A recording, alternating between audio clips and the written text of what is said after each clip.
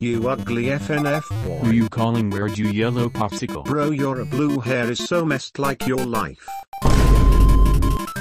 Why you bullying me? Bro shut your double chin looking self with that blue goofy hair it looks like Will Smith slapped your hairline.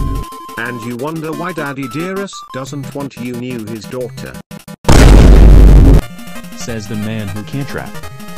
I don't wanna hear your crusty musty lips dusty lips touch that microphone I bet your girlfriend that. Girlfriend should be with a better guy like me. Are you gonna try to disappoint your girlfriend even more? Calm down man I was joking about this no need to take it that far I mean the game you're from is starting to die. Ain't nothing dead besides your chances to get a girlfriend. Stop bullying me. I'm going home. You have a home because I thought you were living on the streets with that look.